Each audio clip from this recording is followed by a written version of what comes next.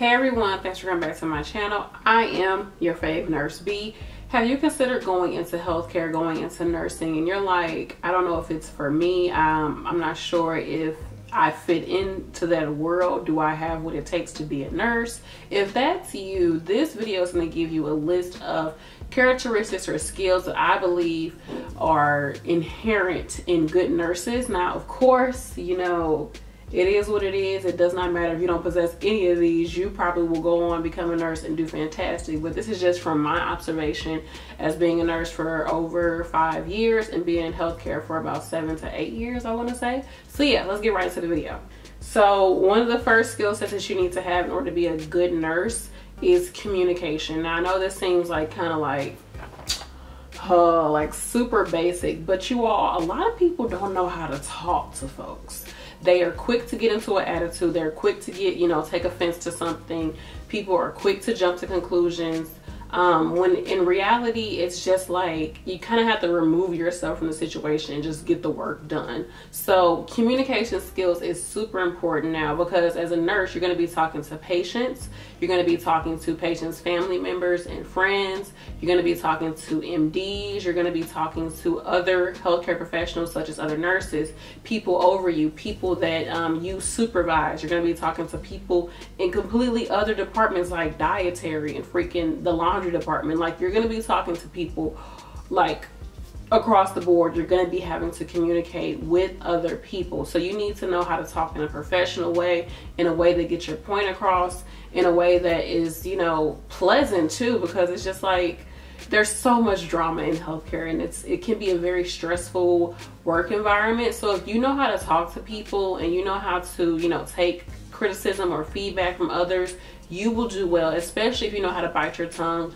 when it comes to dealing with certain people. Now I know people like, I'm not about to get respected by nobody. I'm not gonna well, I'm not about to get disrespected from anybody. I don't take disrespect. I get that, but it's just like sometimes you just have to get things done. And it's just like it is what it is. Just put your ego to the side, put their ego to the side and just make it happen because that's pretty much what it comes down to in this field. Now, I'm not saying get, you know, get stepped on and just deal with it, but there's a time and a place to you know fight certain battles. So communication is extremely extremely important. Good effective communication is extremely important. Number two is taking responsibility about a situation and then acting on it. So in healthcare like i said you're going to be communicating with a lot of people so that means there's a lot of people that are going to be involved when it comes to patient care. Now of course this video is me talking talking mostly about direct patient care but this kind of can go with any part of nursing. If you all don't know nurses just don't do direct direct patient care. Like there's some nurses who never ever see a patient. But at the end of the day there's a lot of people that are going to be taking care of a patient or a part of that patient's care plan or whatever the case may be. And there's going to be times and there's a lot of different shifts because healthcare is 24 freaking 7 right? Especially if you're working in a hospital or a long-term care facility. Healthcare goes on and on. And there's going to be situations where you are going to be it's going to be your shift or your day to be there and something's going to happen and you're going to know for sure that it's not your fault but you're the only person there. The if there's an issue the patient or the patient's family or whomever doesn't care if it's your fault or not they just want someone to do something about it. And i've heard patients families or patients in general say i don't care who did it. I just want somebody to do something about it. And so you have to take it upon yourself to just take responsibility not oh i did it so let me do something about it. No.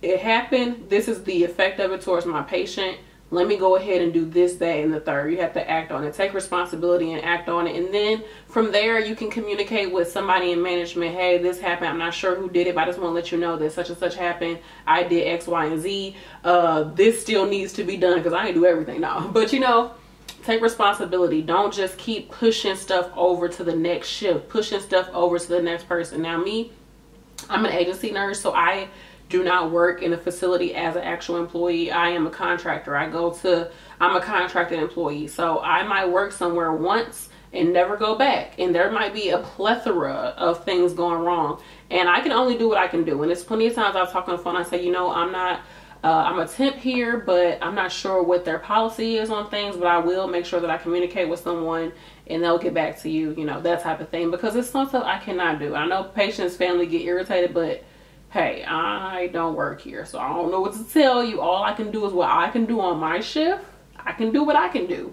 I'll do up to my point what I can do, but there's only so much that I can do. So in those situations, you know, I could easily just be like, I don't know what to tell you. I'm not a work regular worker. You're gonna have to call tomorrow. Or I could try to at least show that, you know, I'm trying to take some type of, type of responsibility and do something for the patient or the family or whatever the case may be. So number two is take responsibility and act on it. Act on whatever the issue is eh, to the most, you know, to the best of your ability. So number three is to be organized. Woo! Woo! Now, you may already possess some of these skills already. It's just once you start working, that's when you can build upon it and actually grow in your ability to do these things. So, of course, don't think that you have to come into healthcare with these skill sets, but these are the skill sets that help you to be better as a nurse. Um, so, to do better as a nurse. So, being organized like i said there's a lot of people coming at you and there's a lot of things going on as a nurse there's a lot of different moving parts um, whether it's direct care to patients, paperwork that needs to get done, people that you have to call, follow through appointments that you have to make, um, concerns about a patient.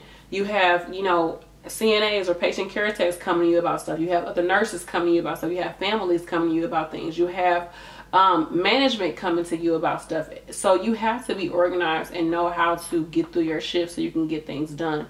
Now, of course, this is definitely something, time management, that's something that comes with doing the job and just doing it and growing and just being like, okay, let me prioritize my shift and things like that. But overall, you have to learn how to be focused and prioritize your work and be like, okay, I'm gonna get X, Y, and Z done now, then I'm gonna do this. You know, you have to learn how to be more organized as a nurse. It's extremely important because, you know, you're dealing with people's lives and, you know, you have a license to protect as a nurse. I know you hear that a lot. I, am trying to protect my license, you know, but it's very true. This is a license that you have to protect. And, you know, you can always get sued. Something can happen. And you want to make sure that you are doing the best you can. You are keeping things in line to the best of your abilities. I know it's it's tough, y'all. It's tough. But being organized, having some type of system in place and working on your time management is extremely important as a nurse.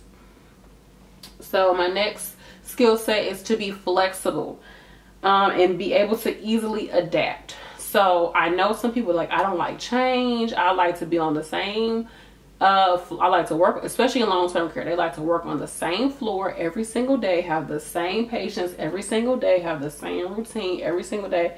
If there's any type of wrench in their situation, they gonna have to stay over two or three hours past their shift because they just are so used to doing things in a structured way all the time. Now, that helps you as far as being organized great. But you need to learn how to be flexible and adapt in nursing because you can come in and think you're going to work on one floor they throw you to another floor. You can come and work two hours on one floor and then they be like hey i need you to go over here and work. You are being constantly pushed around. You can come in and be like hey i need you to pass meds today. There's going to be so much changing in healthcare so much changing in your day-to-day -day job. You need to learn how to just be like okay roll with the punches it can be frustrating it is what it is but that's part of the job. That's part of the job is that it fluctuates. Just like how your life fluctuates the lives of your patient's life is going to fluctuate and then healthcare itself is just i don't know it's it's job security you know and there's certain things that happen no matter where you go because at me as an agency nurse i know there's certain things i'm going to do no matter where i'm at. I'm going to make sure that okay is there any checks i have to do? I'm going to make sure okay what pain payments need to be made? But each place is totally different and it's ran totally different. So you need to be easily uh, able to adapt to situations and don't get too hung up on, well, I'm a nurse, I only do this. It's been times I've gone in to work a shift and they're like, hey, Brandi, we're getting ready for a state to come in the building. Do you mind doing special projects? We need you to go through and make sure all the skin assessments are done on all the patients in the building. Like, what the heck? Yes, that's, a, that's something that nurses do, but I came here to work my shift and leave. But hey, I love doing special projects because I like to be able to do stuff and nobody come ask me no questions. I can just get it done. I ain't gotta be nobody nurse today. I ain't gotta answer no. no I could just go in, do it, and leave. Oh my gosh, I love that type of work. That's so me. But anyways, yeah. So it fluctuates, it changes, and you'll see that when you're in nursing school. One minute you got clinicals over here, and then the clinicals over there. Then they cancel the clinicals. You got to come up to. It's just you have to learn to adapt to it and don't be so stuck in your ways. Now I know some people that's very, very hard for them. They get nervous, they get anxious, they feel like they can't do it, and they just hate change. They just hate it. Okay, where the Taurus at out there? I know y'all be like, no, I don't want to do it. but it's so important to have that skill set. And then the last thing is just overall, you have to have compassion. Um, I know this is kind of like a cheesy thing, but so many people say, I went into healthcare because I just want to help people. Like, you need to still hold on to that ideal that you have of what healthcare is about. It really is about helping people, taking care of people when they need people the most to take care of them. When they need someone the most to take care of them, you are there to do it. You are there to be a friendly face for them. You are there to be a, you know, a hand to hold, somebody to um, just somebody to take care of them, make them feel more comfortable with the situation. I mean, just think about any time that you've ever been sick or any time that your child or loved one has been in the hospital, you're extremely vulnerable. That your body might be exposed, you know, all of your health uh, history is exposed. People are constantly asking you questions. People are constantly coming in the room people are constantly in your space and on top of that you know you have a whole life out there that you have to go back to or that you're hoping that you'll be able to go back to and you're not there right now so who knows what's going on in your life. So the patients that you're taking care of are very vulnerable they're very needy and it's your job to be there and be like hey i'm here for you what do you need? Like you're there to be a nurse to nurse them back to health. So compassion is extremely extremely important because you don't know what people are going through. And i know it's very difficult right now because some people like you know the, the whole nature of healthcare has changed. It's went from patient care to like customer service and paperwork. Like it's really what it has turned into and insurance companies not wanting to pay nothing for nothing. So it's it's become the landscape of healthcare has changed but the heart of it is compassion taking care of people and getting people better getting people in a better state of health.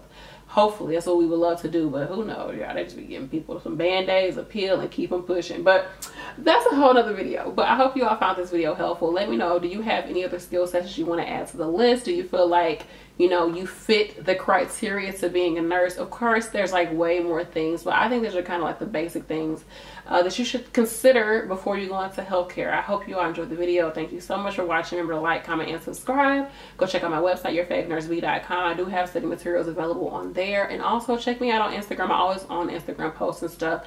And you can go ahead and check out my other channel as well for lifestyle life. Lifestyle life so just look at my lifestyle. All right, you all. Thanks for watching. Peace.